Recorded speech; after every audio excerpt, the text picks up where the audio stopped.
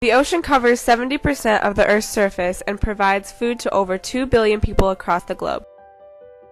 However, the ocean's bounty in recent years has come under attack due to overfishing. Studies have shown a massive decline in world fish stocks over the past 50 years, with at least 51 marine species known to be extinct, largely due to commercial fishing. Aquaculture is one promising solution to this pressing issue. However, there are some major problems with traditional aquaculture. Often large areas of land such as ecologically essential mangroves are dredged and destroyed to create aquaculture facilities.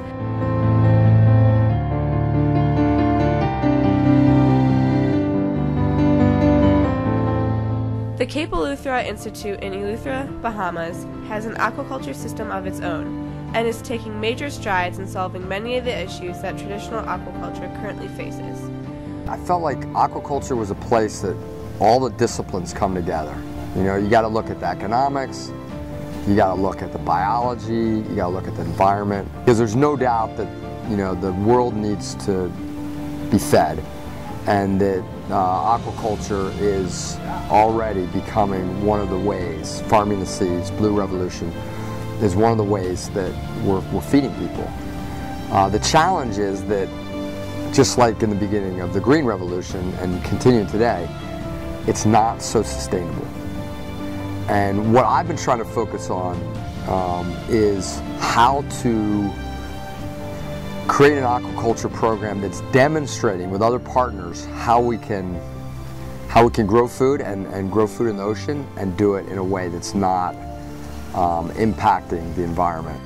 Conducting a variety of studies, the Wedge Center for Sustainable Fisheries at CEI is working towards solving these major environmental issues with traditional aquaculture. Um, we have the largest solar array in the Caribbean that powers our seawater pump and wet lab facility. We have one broodstock tank with a recirculating system. It means the water that goes in, it kind of gets recirculated. It's actually a partial recirculating system. Some water, some water does leave the system and then extra water is added just so it's a complete flow. Um, right now we're raising cobia and that's what we've raised since the aquaculture program got started. Cobia grow really quickly. They reach market size, which is between 5 and 10 pounds within a year. And they have a really good food conversion ratio, which is how much food they eat to how much they grow. Um, cobia is, is about 1.6, so they eat 1.6 grams of feed and they grow a gram.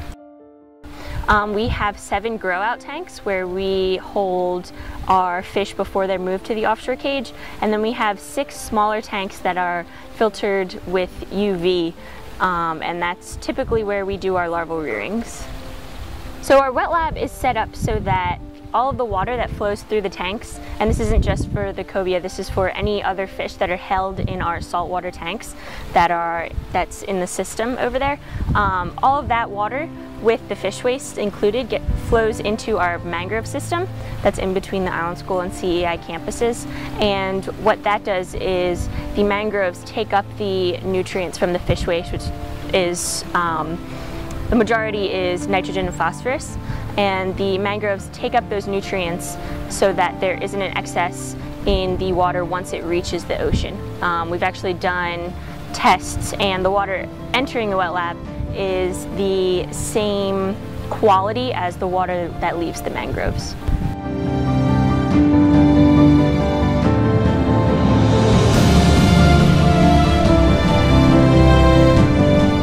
Once the cobia reach an appropriate size, they are moved to an offshore cage.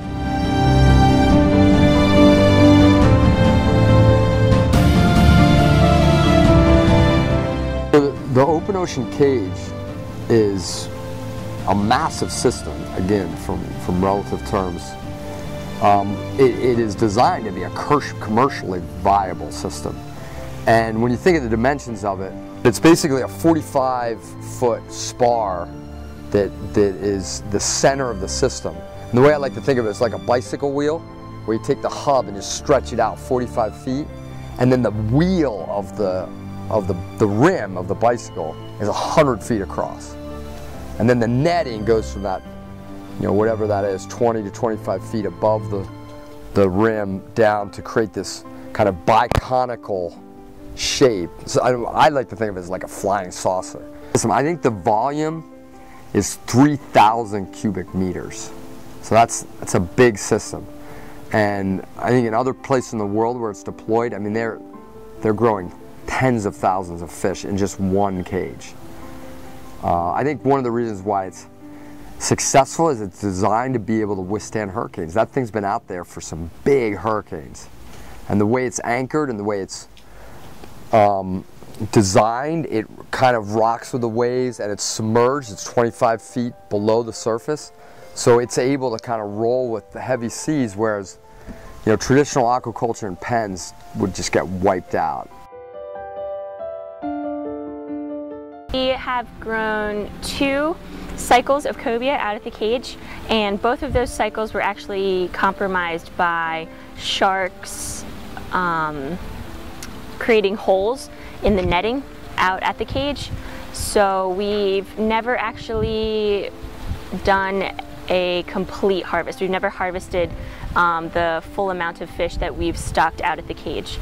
I'm hoping that when we stock the fish later this month, that will be the first grow out that we actually get, you know, a full or close to, you know, 100% grow out out of the cage. Feeding this large amount of an operation, however, often requires using fish feed with more fish biomass than the farmed fish produce. The Cape Eleuthera Institute is currently conducting experiments to solve this problem. We actually are comparing two different types of fish feed. One is a typical commercial feed that has a higher amount of wild fish protein and the other is an experimental feed designed specifically for cobia that has a lowered um, amount of fish protein in it and it's also supplemented with soy and other types of protein and we are doing an experiment where we feed a certain amount of fish one of the feeds and then a certain amount of fish the other feeds and then we monitor their growth to see how each of how, how the fish develop on each of those feeds. Aquaponics is another form of aquaculture practiced at the Cape Eleuthera Institute, which produces fish and lettuce. Uh, aquaponics is a recirculating aquaculture system. Um, basically the way it works here is you start with the fish tanks, that's the highest point in the system. Um, obviously you have to give the fish feed um, so that they grow and you're trying to raise the fish so that we can eat them in our dining hall. Um, and the fish produce some byproducts as a result of giving them food, mainly solid waste and dissolved nutrients that are then in the water system. And so the water flows from the tanks that the fish are in to a series of physical filters that remove the solid waste material, uh, which we then ferment in an oxygen-rich environment um, for about a month so that we can then apply it as a fertilizer to our terrestrial plants. Um, we are a model system for what can be done in a region such as this. So we use plants and fish that are specific um, to this climate and this region and um, the economics here. There are many places around the world like CEI that are working to correct the problems with traditional aquaculture and although not yet perfect, aquaculture has the potential to sustainably provide food to people around the world while helping to conserve global marine resources.